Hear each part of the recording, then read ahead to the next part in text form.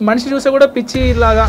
అంటే వేషధారణ కూడా నిజంగా పిచ్చోన్ లాగా శ్మశానంలో తిరిగే లాగా ఉంది. అసలు ఎందుకు ఇలా ఇటువంటి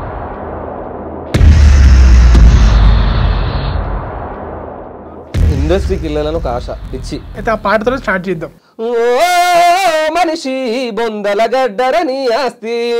ఓ మనిషి తొందర పడితే కాదు మరి.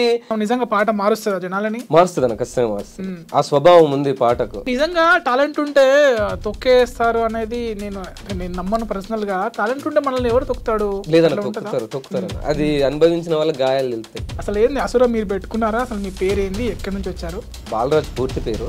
కానీ ఇంకా అసుర బాలుగా మారడానికి కారణం ఏంటంటే నాకు ఈ పేరు పర్ఫెక్ట్ సెట్ అవుతుంది అని చెప్పేసి నేను ఆ టైంలో కాదు అంత జీవిత సత్యాలు చెప్పే మీరు ఎంతవరకు కరెక్ట్ మీరు? నేను కరెక్ట్ ఉన్నానని చెప్తున్నా. ఎందుకు కరెక్ట్ ఉన్నాను నేను పేరుతో పాటు డబ్బు కూడా ఒకప్పుడు పేరు సంపాదించుకోవాలన్నందుకే నన్ను నాశనం చేసిపోయింది ఇప్పుడు తెలియదు అంటే అంతలాగా నిన్ను ఆ, పాట రాయడానికి పురిగొల్పిన సందర్భం ఏంటి? ఎప్పుడు విషాదంతో గడుపుతుండేవాడిని. బాత్రూమ్లు కడుతూ హోటల్లో పనిచేస్తూ వాళ్ళకు మందు కలుపుతూ ఇంతమంది దొంగన కొడుకుల మధ్య మనిషి అండ్ వాళ్ళు మాట్లాడుకుంటూ కూడా నేను విన్నా. మంది కొంపలు ముంచి మంటల్లో సలిగాగే దొంగ నా కొడుకులుండ్రు. నమ్మించి మన గొంతు తడి బట్టతో గోసె తెలివి కల్లోళ్ళు ఉండ్రు లోకంలా.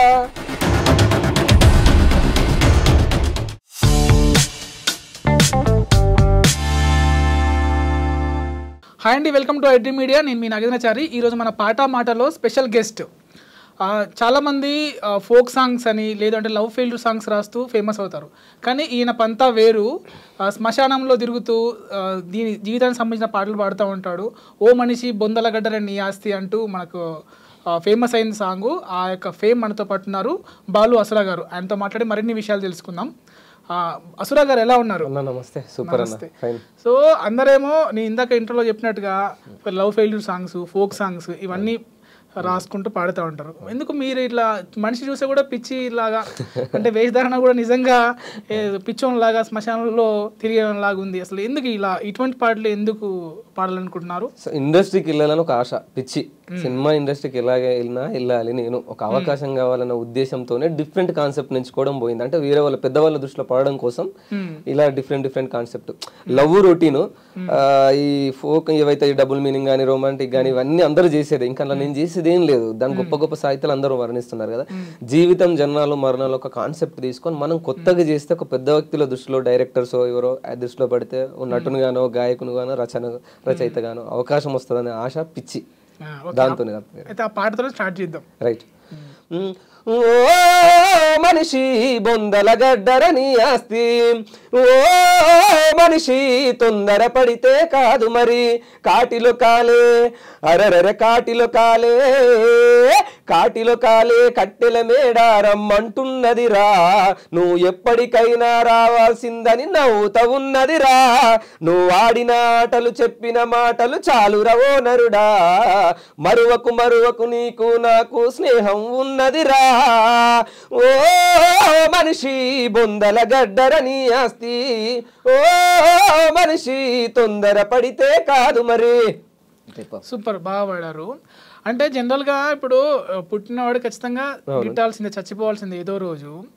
అంటే ఇప్పుడు అది అందరూ చెప్పేదే కదా మీరు చెప్పి అంటే దీని జనాలను మార్చుకుందాం నిజంగా పాట మారుస్తుందా జనాలని? మారుస్తుంది అన్న ఖచ్చితంగా మారుస్తుంది. ఆ స్వభావం ఉంది పాటకు.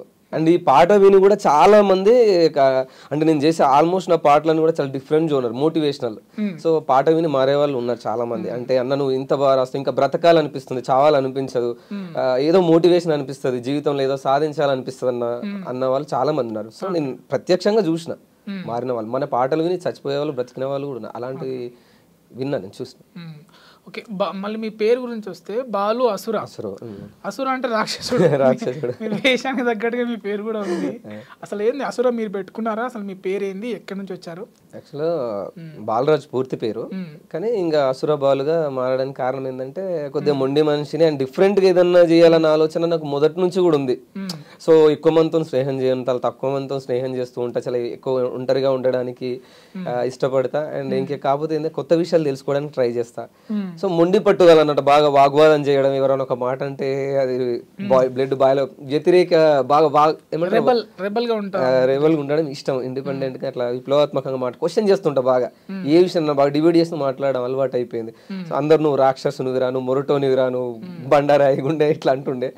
సో అవునా ఈ పేరు బాగుందని ఆ టైంలో మళ్ళీ జైలు అవకాశంలో మన ఎన్టీఆర్ గారి సినిమా రిలీజ్ అవ్వడం అసుర అసుర. అసుర రావణ అసుర ఆ పాట రావడం కొద్ది రోజులు అది కాలర్ ట్యూన్ ఉంటుండే నాది. ఆ, సో సేమ్ అట్లా జుట్టు గడ్డం పెంచుకొని ఏదో చేయాలి చేయాలన్న తాపత్రయంలో ఇక ఆ పాట అసురాసుర రావణాసుర హిట్ హిట్ కావడం ఆ సినిమా హిట్ కావడం నాకు అది నచ్చింది ఆ క్యారెక్టర్ రావణాసుర అవును నేను ఇంతే నేను ఇంతే. నాకు ఈ పేరే పర్ఫెక్ట్ సెట్ అవుతుంది అని చెప్పేసి నేను ఆ టైంలో పెట్టుకున్నాను పేరుకే కానీ చూ- మనిషి చూస్తే పిరికి అని కూడా విన్నాను మరి. అంటే మనం క్యారెక్టర్ మొట్టమొదటిసారి మనం చేసినప్పుడు డైరెక్ట్గా ఏదో సాధించాలని బొందలకి శ్మశానాలకి పోయినప్పుడు ఫస్ట్ అది ఉంటుండే. అది ఊర్లో ఉన్నప్పుడు నేను బయటికి రాక ముందుకు వ్యక్తిగతంగా అప్పుడు పిరికొని ఇప్పుడు కాదు అంటే ఎప్పుడైతే నేను బయటికి వచ్చినో నా యాక్టింగ్ గురించి నా పాటల గురించి నువ్వు ఎక్కడ ఏడ బొర్రమంటే ఏ శ్మశానంలో ఏమంటారు? సెట్టింగ్లో కాదు డైరెక్ట్ రియాలిటీగానే చేసేస్తాను నేను. ఇప్పటివరకు నా అన్ని పాటలు కూడా నిజమైన శ్మశానాలు అప్పుడే బొంద పెట్టినాయో అప్పుడే కాల్ చేసినాయో ఆ స్మెల్ వచ్చే దగ్గరనో డైరెక్ట్గా చేసేస్తా. అంత ధైర్యం ఉంది అంత అలవాటు పడిపోయినా. అప్పుడు పిరికొని ఇప్పుడు కాదు. అంటే ఇప్పుడు ఉన్నాను. చాలా ధైర్యం. ఇప్పుడు కల్లారా చూస్తూ ఉంటా వాళ్ళు కాల్చేంత వరకు చూస్తుంటా ఇప్పుడు కాటి కాపరి క్యారెక్టర్ కూడా పుట్టింది నా ద్వారానే. అంత ముందుకు కరోనా బిఫోర్ ఇలాంటి పాత్రలు లేవు. దాన్ని సృష్టించింది నేనే. తర్వాత చాలా మంది చేసారు కానీ ఆ క్రెడిట్ అయితే నాకు బాగా వచ్చింది అనమాట ఓకే. క్రెడిట్ వచ్చిన పాట అయితే ఓ బొందలగడ్డ అనేసి పాట. అసలు ఫస్ట్ ఏ పాటతో మీరు స్టార్ట్ చేశారు కెరియర్? అసలు ఎక్కడి నుంచి వచ్చారు? అసలు ఎందుకు రావాలనుకున్నారు ఈ ఫీల్డ్లోకి? అది మొదటి పాడైతే మన సింగర్ రాహుల్ సిప్లిగంజ్ అన్న పాడిన సాంగ్. ప్రాణం ఉన్నంత వరకు దమ్మున హిందువులం. రెండు వేల పదిహేడు బిగ్ బాస్ ఆ టైంలో అన్న వెళ్ళే టైంలో స్టూడియోలో ఉండే అవకాశం గురించి తిరుగుతాను అదే టైంలో. అంత ముందుకే తిరిగిన కాకపోతే అన్న నన్ను గుర్తించి వేరే స్టూడియో వాళ్ళు గుర్తించి నాకు ఒక కంటెంట్ ఉంది అప్పుడు స్టూడియోలో ఇలాగనే వాడుతున్నా సరదాగా.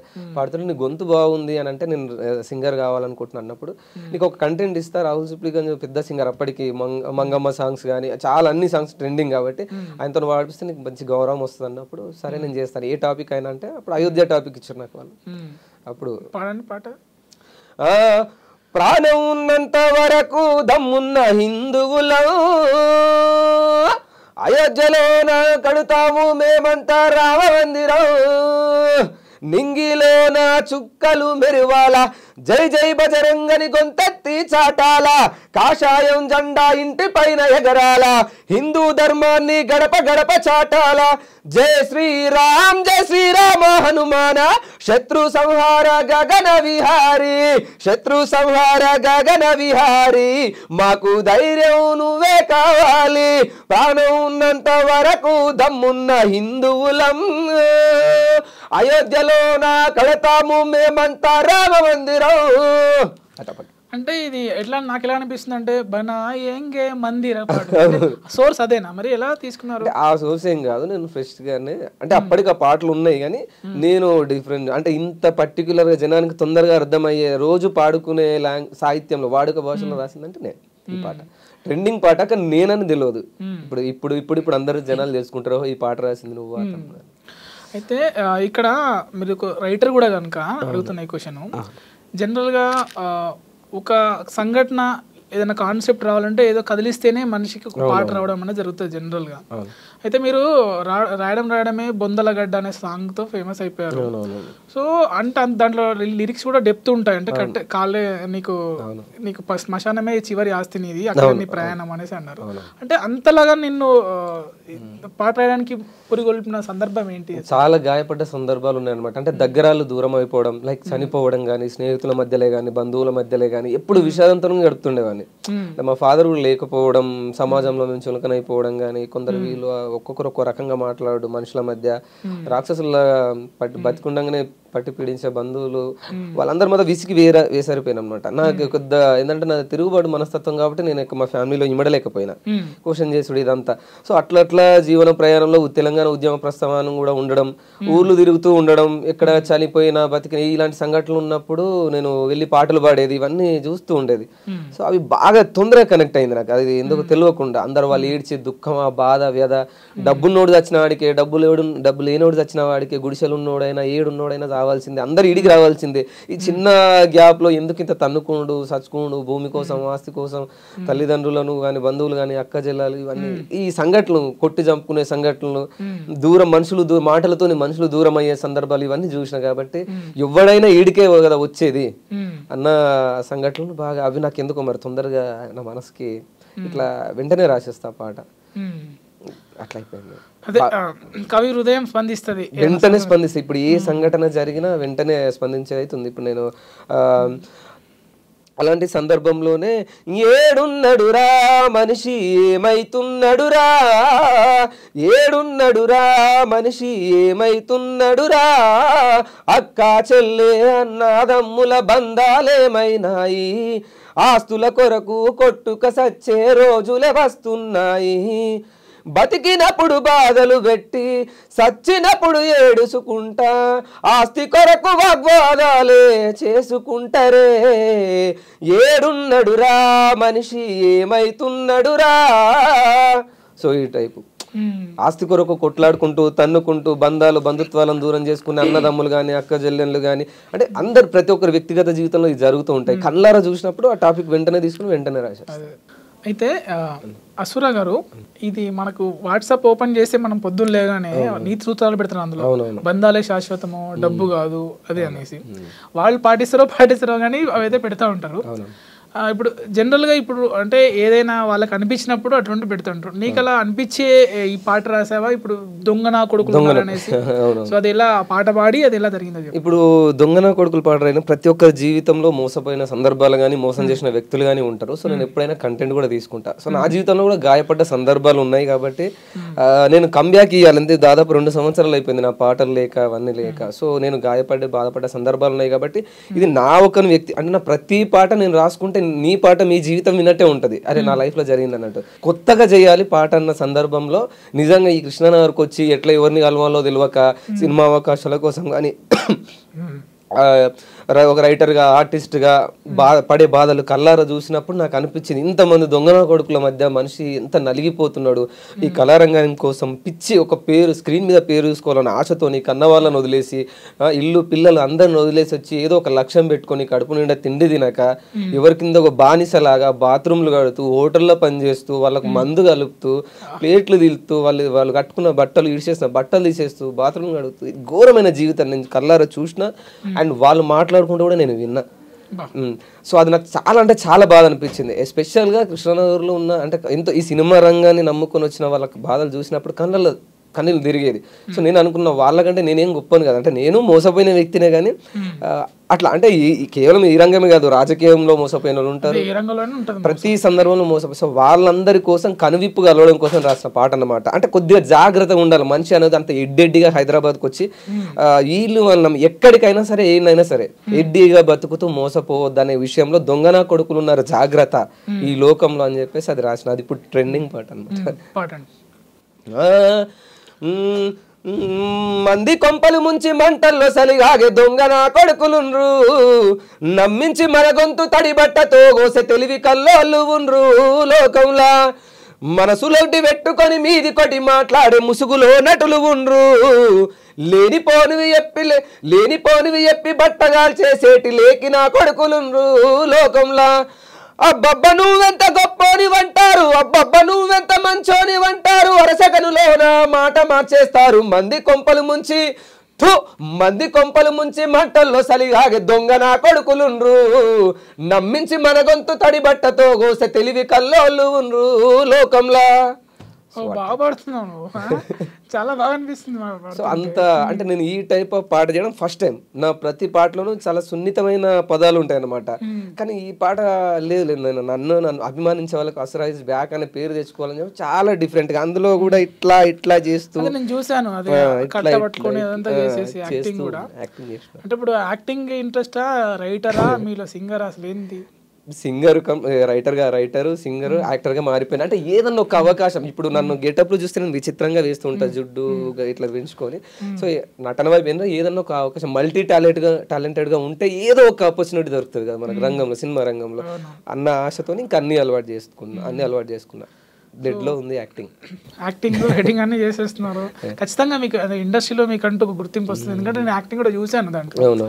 అంటే చాలా మందికి నేనని తెలు తెలుసుకోవడానికి ఇంత టైం ఇప్పుడు నేను కూడా కొద్దిగా ఎవరిని కలవాలి ఎటు పోవాలి ఎవరిని అడిగితే బాగుంటుంది ఇట్లా చాలా నష్టపోయి మోసపోయి గాయపడ్డ క్షణాలు ఉన్నాయి కాబట్టి నా మీద ఆశలు పెట్టుకున్న వాళ్ళు కూడా ఉన్నారు. ఈయన ఎదిగితే మాకు చెయ్యిస్తాడు అనుకున్న వాళ్ళు చాలా మంది ఉన్నారు నా చుట్టూ. సో నేను ఎదగాలన్న విషయంతోనే ఇంకా గతాన్ని అంతా మర్చిపోయి ఇదంతా పెంట పక్కకు పెట్టేసి ఇక డైరెక్ట్ నేను మీడియా మీదకి వచ్చి నేను అసలు నేను ఆ పాట రాసిన ఆ- ఈ పాట నేను రాసిన యాక్టింగ్ రైటింగ్ ఏదో ఒక అవకాశం ఇవ్వండి అని. నా దగ్గర టాలెంట్ దమ్ముంది కాబట్టి అంత ధైర్యంగా పోట్లాడు ఒక్క అవకాశం ఒక్క అవకాశం. ఖడ్గం సినిమాలో హీరోయిన్ అడిగినట్టు ఒక్క ఛాన్స్ ఇవ్వండి అన్నట్టు సినిమాల్లో తీసుకొస్తాను ఇప్పుడు నిజంగా టాలెంట్ ఉంటే తొక్కేస్తారు అనేది నేను నేను నమ్మను పర్సనల్గా టాలెంట్ ఉంటే మనల్ని ఎవరు తొక్కుతాడు? లేదన్న తొక్కుతారు తొక్కుతారు అది అనుభవించిన వాళ్ళకి గాయాలు వెళ్తాయి మ్మ్. తొక్కేసారు బరాబర్ తెస్తారు నా పేరు నేను నన్ను నాశనం కనబడకుండా చేయాలని కొంతమంది ప్రయత్నాలు కూడా చేసిర్రు. అంటే ఇప్పుడు ఒక ప్లాట్ఫామ్ ఉంది కదా ఇప్పుడు యూట్యూబ్లో ఇప్పుడు మనకంటూ టాలెంట్ ఉంటే యూట్యూబ్లో చూపించుకోవచ్చు కదా మనకి. వేరే వాళ్ళ ఒకప్పుడు అంటే ప్రొడ్యూసర్లు కావాలి దానికి ఉండేది. ఇప్పుడు అట్లా ఏం లేదు కదా. కానీ అన్న అనేది ఎక్కడ ఉంటుందని అడుగుతున్నాను నేను. అనేది ఇప్పుడు సోషల్ మీడియా కానీ యూట్యూబ్ కానీ ఇన్స్టాగ్రామ్ కానీ ఫేస్బుక్ ఇప్పుడు వచ్చి అందరు యాక్టివ్ అయిపోరు. నేను కూడా ఇప్పుడు ఇప్పుడు ఇప్పుడే ఇప్పుడు తెలివి వచ్చింది నాకు. ఇది రెండు వేల పద్నాలుగు పదిహేడు ఆ టైంలో ఉండి ఉంటే నేను ఒక ఇండస్ట్రీలో ఒక మంచి వ్యక్తిగా ఎదిగి ఎదిగి ఎదిగేవాడిని. మ్మ్. కానీ నాకు తెలివి లేదు. ఇంకోటి ఏంటంటే ఇక్కడ అందరు మసిపూసి మారేడుకాయ చేసే వ్యక్తులు ఉన్నారు అన్న. ఈజీగా మాయం చేసేస్తారు. అంటే ఆశలు పెట్టిస్తారు అన్నమాట. బాగా ఆశలు పెట్టించేసి వాళ్ళు పిచ్చని చేసి పంపించేస్తారు. బరా ఉంటారు అన్న ఖచ్చితంగా లేరు అని. అయితే ఇలాంటి వ్యక్తులు ఎలా దానిని నెగ్గుకొని రావాలంటే డబ్బు ఉండాలన్న. డబ్బు ఉంటే ఎవ్రీథింగ్ ప్రతిదీ పాసిబుల్ అవుతుంది ఇక్కడ. ఈజీ ఈజీ అవుతుంది. అంటే నాకంటే గొప్ప సాహిత్యం రాసే వాళ్ళు ఉన్నారు డైలాగులు చెప్పే వాళ్ళు ఉన్నారు యాక్టింగ్కి జీవం పోసే వాళ్ళు ఉన్నారు కానీ ఆ, నేను కొద్దిగా మొండి మనుషులు వాళ్ళు డిసప్పాయింట్ అయ్యి డ్రాప్ అయిపోయి వెళ్ళిపోయిన వాళ్ళు కూడా ఉన్నారు కానీ నేను అట్లా మొండి వ్యక్తిని. ఊపిరి పోయేంత చివరి అవమానాలు కూడా ఎదుర్కొన్నారు. ఎదుర్కొన్నా చాలా ఎదుర్కొన్నా. బాగా చాలా మాటలతోని తిడతారన్న గట్టిగా తిడతారు. ఇక్కడ ఒక అమ్మ అంటే అట్లా అంటున్నాను కాదు ఒక అమ్మాయి తొందరగా సక్సెస్ కావడానికి స్కోప్ ఉంటుంది కానీ అబ్బాయిని చాలా లుచ్చల ఫుడ్ కానీ లెక్క చూస్తారు. అడ్డగోలుగా మాట్లాడతారు సర్వ సాగిరి చేయించుకుంటారు. బట్ గుర్తింపు రాదు. గుర్తింపు అంత ఈజీగా రాదు. అమ్మ అమ్మాయి అవకాశం అంటే ఇప్పుడు జనరల్ ఇప్పుడు లైక్ కమిట్మెంట్లే కానీ ఏదో ఇప్పుడు నడుస్తూనే ఉన్నాయి మీరు చూస్తున్నారు జాన్ ఇప్పుడు జానీ మాస్టర్ ఇష్యూ ఉంది. దానిపైన మీ అభిప్రాయం ఏంటి? రెండు చేతులు కలిస్తేనే చప్పట్లు వస్తాయి అన్న. ఒక్కరు చేసిరే తప్పు అని అంటే నేను దాన్ని చేయలేను. ఇప్పుడు ఆ, తను ఇప్పుడు మైనర్గా ఉన్నప్పుడు జరిగిన సంఘటన. అంటే ఇప్పుడు నేను మాట్లాడవచ్చా మాట్లాడినా నాకు తెలియదు కానీ సరే స్పందిస్తున్నా. మీరు అన్న అడిగిరు కాబట్టి. తను ఇన్ని సంవత్సరాలు ఏం చేసింది? తను ఎదగడానికి మాస్టర్ అవసరపడ్డాడు. తను ఆర్థికంగా నిలదొక్కుకోవడానికి పేరు సంపాదించుకోవడానికి జానీ మాస్టర్ కావాల్సి వచ్చింది.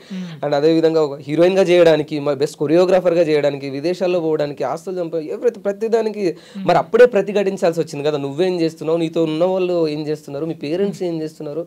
ఇప్పుడు అమ్మాయి ఏమని చేసిందంటే ఫుల్ సపోర్ట్ అందరు పోతున్నాం కదా. కరెక్ట్ సపోర్ట్ చేద్దాం. కానీ ఇంతవరకు నువ్వు ఎవరు చేసారు ఇప్పుడే సడన్గా చేయడానికి నీ వెనక ఎవరు ఉన్నారు ఏంటి తప్పు చేస్తే శిక్ష పడుతుంది డెఫినెట్గా పడుతుంది అనుకుందాం. కానీ మాస్టర్ ఒక్కడే తప్పు చేసిండా? నువ్వు తప్పు చేయలేదా? నీ ప్రమేయం లేకుండా తప్పు జరిగింది. అంత ఎడ్డి కాలంలో అయితే ఏం బతుకుతలేం కదా? సోషల్ మీడియా ఉంది. ఇన్ని సంవత్సరాలు ఆగాల్సిన చంపేస్తాము కొట్టేస్తాము అని అన్నారు కదా. నేను ఇప్పుడు రీసెంట్గా వచ్చిన వీడియోలు అవన్నీ చూస్తే కదా నేను నమ్మతలే. అంత అమ్మాయి గురాలని నేనైతే నమ్మట్లేదు. అంటే ఇప్పుడు మీరు ఇందాక అన్నారు ఇక్కడ తొక్కేస్తారు. అంటే ఇప్పుడు ఇప్పుడు జానీ మాస్టర్కి అప్పుడు ఇండస్ట్రీలో స్టార్ స్టార్ కొరియోగ్రాఫర్ కనుక ఆయనకి మంచి పనుకోబడే ఇన్ఫ్లుయెన్స్ ఉండొచ్చు కదా. ఆ ఇన్ఫ్లుయెన్స్ ఇది చేసుకొని ఈ అమ్మాయికి అవకాశాలు రాకుండా చేయొచ్చు అనేసి భయపడి ఉండొచ్చు కదా. అట్లేం ఉండదు అన్న అట్లేం ఉండదు వా మీరు చాలా హుషారు ఉన్నాను మీరు చూడండి చాలా హుషారు. ఇప్పుడు అట్లా నలిగిపోయే అమ్మాయిలు మన తెలుగు మన వాళ్ళైతే తొందరగా బయటకు వచ్చేస్తారు అవమానాన్ని అసలు సహించలేరు అక్కడ ఉండలేరు. నువ్వు ఎందుకు ఇప్పటి వరకు ఉన్నావంటే. సంథింగ్ నువ్వు ఏదో ఎక్స్పెక్ట్ చేస్తున్నావు. అంటే ఆయన లైక్ పెళ్ళి చేసుకోవాలని ఎక్స్పెక్ట్ చేస్తున్నావు? సంథింగ్ ఏదో ఉండే ఉంటుంది. లేకుండానైతే ఏం ఉండదు. అసలు వాళ్ళ వ్యక్తిగత జీవితంలో జరిగే ఉండొచ్చు. అందరి జీవితంలో కూడా జరుగుతాయి. కానీ ఏదో నడవకుండా మాత్రం ఇంత దూరం అయితే నువ్వు ప్రయాణం చేయవు కదా. ఆ ప్రయాణంలో నీ తప్పు కూడా ఉండే ఉంటది కదా. ఒక్కరిదైతే లేదు కదా. మాస్టర్ తప్పుతో పాటు ఒక తప్పు చేసిండు అంటే మీ తప్పు కూడా ఖచ్చితంగా ఉందని నేను నమ్ముతాను అది నా వ్యక్తిగత అభిప్రాయం అందరి అభిప్రాయం. ఓకే. అయితే ఇప్పుడు ఇట్లా డిఫరెంట్ డిఫరెంట్గా సాంగ్స్ రాస్తున్నారు. మీరు ఇప్పుడు మొన్న బోనాలకు కూడా ఒకటి పాట వేశారు. ఏమంటామంటే రావు ఎల్లమ్మ రావు మంగళ వారవారం నాడు మంగళవారం. ఆ సాంగ్ పాడి దాని గురించి డిస్కస్. ఆ వారవారం నాడు మంగళవారం నాడు మంగళారం నాడు తొలిపొద్దుగు ఎంగ పచ్చాని పందిట్లాలికు ముగ్గులేసి అరుగుల్ల సోని పెరువెట్టి విలువంగా. నువ్వు రావు ఎల్లమ్మ రావు రావో రావు రావో? నువ్వు రావు ఎల్లమ్మ రావు రావో రావు రావో. రావు ఎల్లమ్మ రావు రావో రావు రావో. నువ్వు రావు ఎల్లమ్మ రావు రావో రావు రావో. అది ఈ ఈ పాట మీరే రాసారా నేనే చాలా పాటలు రాసిన రైటర్ నేనని తెలియదు. తెలియదు. ఈ పాట పైన మొన్న ఒకటి రీల్స్ కూడా చేశారు. అంటే ఒక వినాయకుడి మండపంలో పూజ చేయమంటే మంగళారతి పాడమంటే అమ్మాయిలు ఉండి రావు అయ్యగారు రావు రావు అని అవునవును జనరల్ రీల్స్ ఇట్లా అయిపోయేసరికి ఏది ఏది వైరల్ అవుతుందో ఏది ఇప్పుడు జీవితం అంతా ఇన్స్టాగ్రామ్లో ఫోన్లలోనే నడుస్తుంది కదా. అది నడుస్తుంది. అది వాడినోడు మూర్ఖుడే దాన్ని అతిగా అతిగా వాడినోడు కూడా దరిద్రుడే. సోషల్ అలా- వైరల్ అయిన సాంగ్ ఇంకోటి మీద ఉంది మామిడి పండు సాంగ్ అని. అసలు అది ఎలా రాశారు? అది ఇలా పాడించారు. ఆ టైంలో తమ్ముడు అండ్ మనోని గట్టిగా ఇన్స్టాగ్రామ్ గట్టిగా వేసుకుంటారు పాపం మన వాయిస్ కూడా జర ఫీమేల్ వాయిస్ ఉండడం అని వేసుకుంటున్నారు ఇన్స్టాల్ బాగా ట్రెండింగ్ అవుతుంది సో నేను అబ్బాయి పేరు? శివ. శివ. ఆ టైంలో నేను పాటలు ఏం చేస్తలేను కానీ ఛానల్ కూడా ఆగిపోయింది కదా. ఏదో ఎంటర్టైన్మెంట్ సంథింగ్ ఏదైనా చేద్దాం ఊకే ఇట్లా బాధపడుతూ నాలుగు గోడల మధ్యలో కూర్చోవడం ఎందుకని చెప్పేసి అది ట్రై చేసిన. ఉమ్. ఆ మామిడి పండు తీయగుంటది కాకరకాయ చేదుగుంటది తీపి చేదు కాదయ్యో నీ మీద నాకు ప్రేమయ్యో తీపి చేదు కాదయ్యో నీ మీద నాకు ప్రేమయ్యో. జుంతకు జుంతకు జుంతకు జుంతకు లబ్బరి బొమ్మ బొమ్మాయి పిల్ల.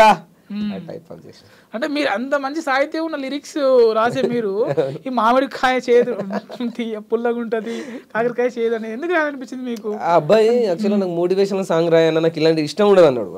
బట్ నీ గొంతు నువ్వు జనానికి ఎంత ఎంటర్టైన్మెంట్ చేస్తే నీకు అవకాశాలు వస్తాయి ఏదైనా ప్లాట్ఫామ్ మీద నీకు దొరకవచ్చు నీకు కూడా అంత దూరం పోయే అవకాశం ఉంటుందని చెప్పిన ఆ పాట కూడా అప్పుడప్పుడు రాసింది. ఇంకోటి ఏంటంటే ఏదైనా నాకు కూడా బోర్ ఊకే జీవితాలు ఇవన్నీ రాసి విసిగి వేసారిపోయినా. ఇంకా వేరే మోటివేషన్ ఏదైనా పాట రాసినా కానీ మళ్ళీ నేనే సఫర్ అవుతా. ఈ పాటలు అలా గాయపరుస్తుంటాయి మోటివేషన్ పాటలు.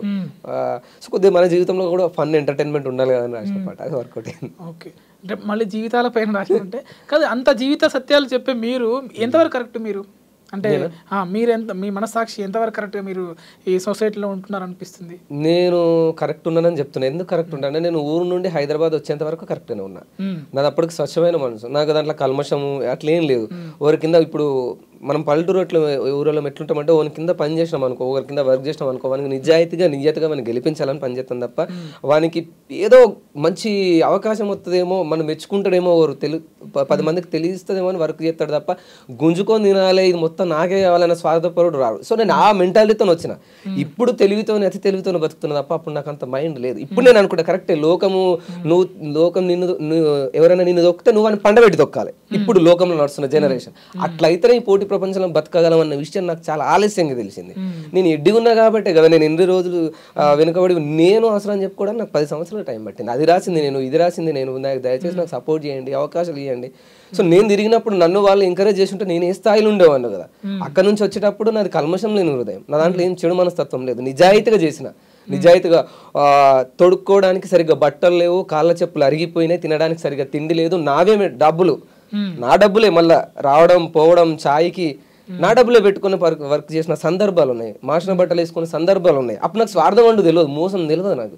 లోకంలో జరిగేది చెప్పేది మనుషులు మీరు జాగ్రత్తగా ఉండండి. అరే మనుషులతో జాగ్రత్త మృగాలతో కాదు. చెప్పేది వినవేంద్రావు మూర్ఖుడా మనుషులతో జాగ్రత్త మృగాలతో కాదు. మురిసిపోతూ ఉన్నవేమో పరుసుకున్న వెన్నెలలో పక్కనే ఉన్నాడు కాటేసి పోతాడు. పామే నయం తేలే నయం మనిషే ప్రమాదం. మనుషులతో జాగ్రత్త మృగాలతో కా మృగాలతో కాదు. చెప్పేది నీకే వినవేంద్ర వెర్రి మూర్ఖుడా అని రాసుకున్నాను నేను.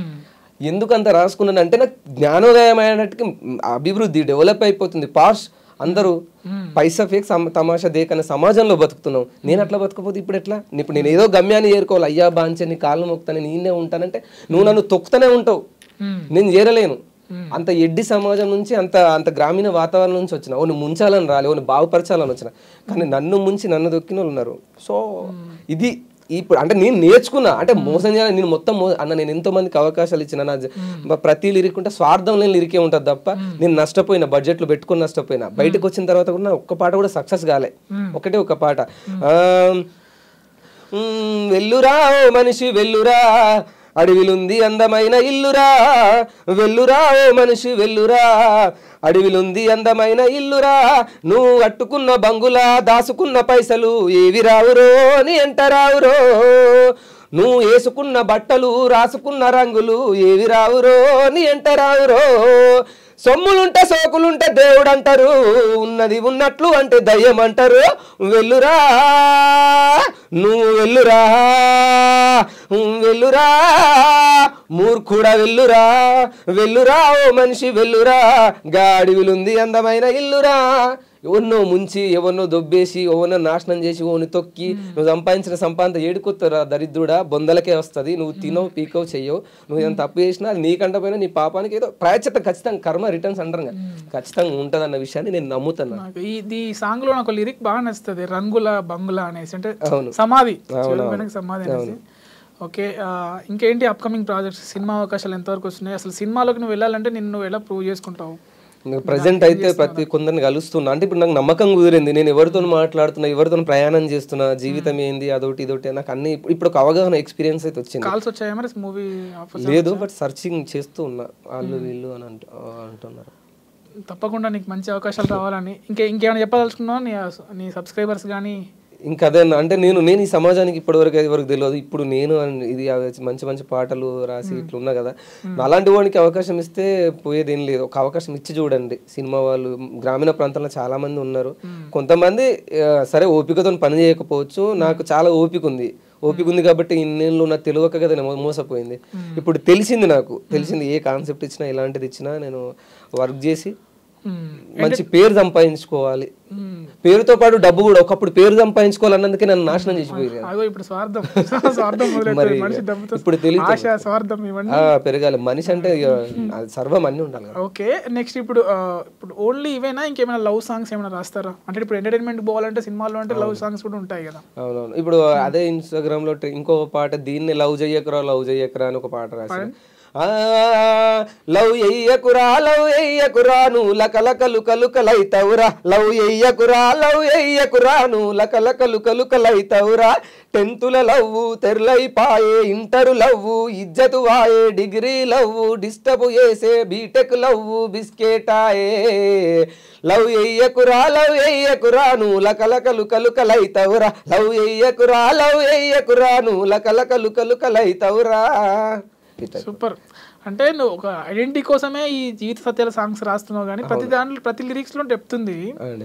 సో తప్పకుండా దాన్ని మిస్ గాను అన్నట్టు ఆ లాజిక్ మిస్ గాను అంటే నా అది నా మనస్తత్వం నేను ఏదైతే నేర్చుకున్నానో అంత దూరం నుంచి వచ్చి ఏదో మంచి చేసి చచ్చిపోవాలని ఆశ తప్ప ఏదో ముంచి కొట్టి సంపాదించాలని అట్లేం లేదు. తప్పకుండా అసుర గారు. అసుర కాదు మీరు రాక్షసులు కాదు చూడడానికి అలా నేను ఉన్నారు మంచి కానీ ఉన్నాను మంచోడే. నిజం చెప్పాలా? నేను చెప్పుకోవాలి ఇప్పుడు మంచి అవకాశాలు రావాలి. తప్పకుండా మళ్ళీ సక్సెస్ అయినాక మళ్ళీ మనం ఇంటర్వ్యూ చేయాలి. తప్పకుండా. All the best thank you thank you thank you ఇప్పుడు మనం నేను చిన్న ఆడిషన్ చేస్తా. బ్యాక్ టు బ్యాక్ నీకు వచ్చిన ఐటమ్స్ డైలాగ్స్ చెప్పడం చేస్తూ ఏమిరా? గబ్బుని ఆయలా అట్టా కూర్చొని చూస్తున్నావేంది? గుడ్లు బెల్లబెట్టి? మే, మే.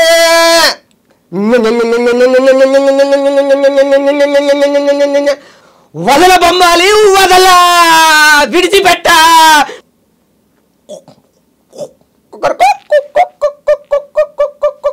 बहुत दिन के बाद खा रहा हूँ ची ची ची ची ची ची ची ఓకే డెఫినెట్లీ నీకు మంచి అవకాశాలు రావాలి okay all the best Asura thanks for coming to studio Thank you. Thank you